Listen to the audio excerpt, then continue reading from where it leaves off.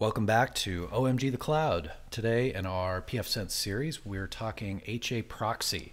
This is going to let us set up a reverse proxy to secure multiple websites behind your firewall. You've probably experienced the issue of only being able to expose one service on any particular port. You need some sort of a proxy if you're going to send more than one service through on that same port. In our previous episode, I recommend you check that out. Go ahead and click the uh, icon on the top right there if you haven't already seen it we went ahead and set up Let's Encrypt SSL certificates. We're going to be using those to secure our HA proxy. Let's get that HA proxy service installed. Go to System, Package Manager, Available Packages, HA Proxy, and go ahead and install the HA Proxy, the non-development edition.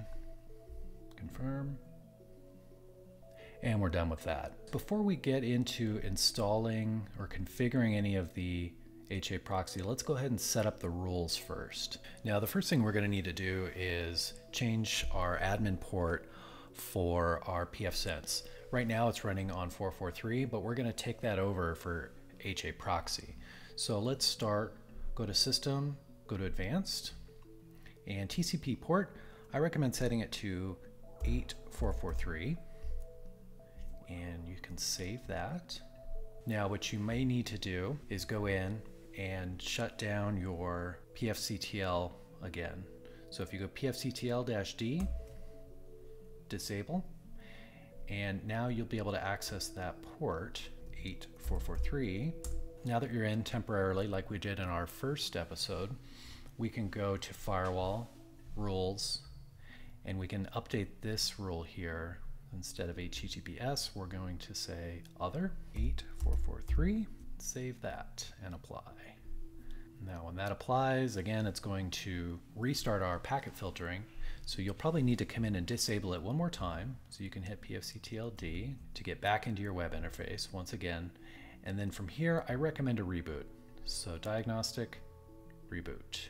And once that comes back up, you should be able to refresh and log in as you did before. And then you're, you're back in. We could take another look at our firewall rules and we see we're on 8443. Okay, so we freed up port 443, which we're gonna need.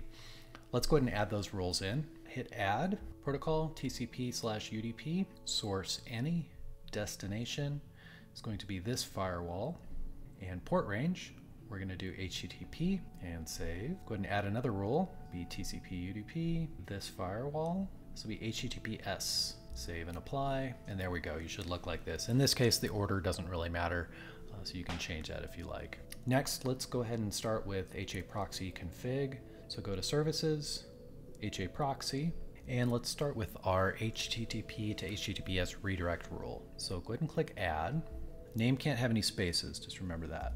It's going to grab anything on port 80. Defaults here are just fine. Down in the action section, go ahead and click that arrow, and we're going to choose HTTP request redirect. And the rule field, we're going to go ahead and put in scheme space HTTPS lowercase. And that's it. You can scroll to the bottom and hit save and apply. This is going to grab any incoming HTTP requests, redirect them to HTTPS, so they'll be secured over SSL. Next, we're going to take a look at the HTTPS side. So we're going to work from the back forward. We need our backend services to be available before we can configure the front. So click on the backend tab and let's go ahead and add a web server, OMG web and we need to give it a list of servers, OMG Web 01, forward 2. We're going to put this on our DMZ, which we configured previously. I'll go ahead and link to that in the description below. 10.1.20.100, port 8080. And with that, these other settings can be left at default. Health check is another one that may get you on different services. You can just turn it off. There's other options below here for monitoring, but this is stuff that we'll cover in a more advanced session.